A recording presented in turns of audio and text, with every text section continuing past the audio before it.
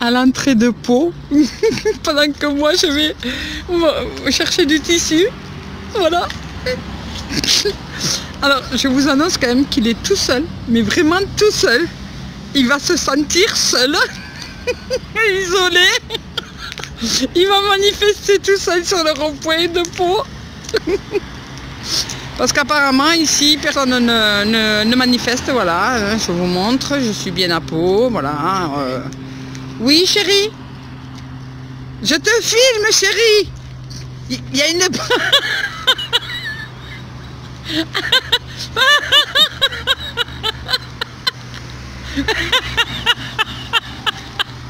Alors, comme à Air-sur-Adour, les gendarmes nous ont dit qu'on n'avait pas le droit de boucher la circulation parce qu'il n'y avait pas de passage piéton? Et eh bien, il a décidé de faire des allers-retours sur le piéton. Je vais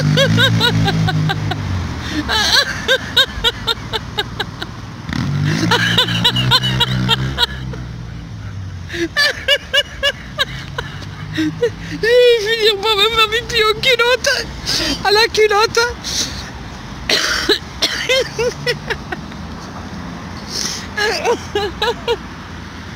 Ah, mon fils, il est tellement honteux qu'il est resté dans la voiture. Et moi, je suis mort de rire sur le bord de la route. Entre...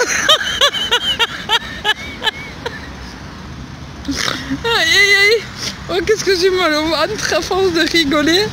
Il manifeste, voilà. C'est ça. Allez, venez. Il leur, crie de venir, tout le monde s'en fout.